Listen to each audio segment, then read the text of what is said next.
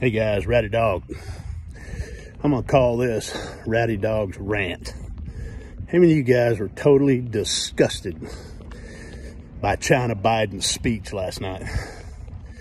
Calling half the country terrorists, domestic terrorists, insurrectionists, MAGA fascists. I mean, it's just, it's just insane.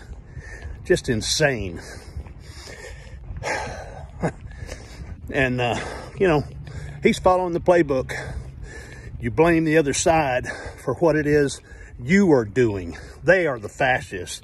They are the communists that are quelching free speech, shutting down dissent of any kind, suppressing their own misbehavior and corruption in the in high tech and in the in the DNC media is allowing it and they're following suit. They're just you know following the playbook.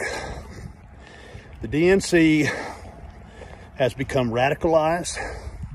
The DNC propaganda, communist media is just, just spewing all their lies and propaganda. There's no truth in any of them. And it's just got to stop. It's just got to stop, guys. How many of you were screaming at the TV last night, just disgusted that you were being called a terrorist, an insurrectionist, a MAGA fascist. You know, I voted for Trump because I knew we needed a change in DC. We needed somebody who was outside politics, who was a, a, a successful businessman, who had common sense and brutal honesty. That's the thing that they hate about Trump is he's going to take a lot of that corruption down. He tried to do it in his first term. That's why they brought all this crap against him. And not any of it landed on him. And they're trying it again. It's insane.